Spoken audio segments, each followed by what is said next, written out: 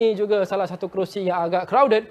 Kita lihat didahului oleh Jalani Kamis daripada Barisan Nasional tapi tidak begitu luas jurangnya. Zamri Pakiri mengikut agak rapat di belakang di tempat kedua PH kurang seribu leadnya di sini dan Jamzuri Arifin juga jangan tolak tepi dahulu kerana walaupun nampak begitu sedikit jauh tapi tidak begitu jauh setakat jam 8.30 malam. Jadi data ini agak baru untuk kita lihat. Kalau kita teliti, mana dia? N06 Rembia.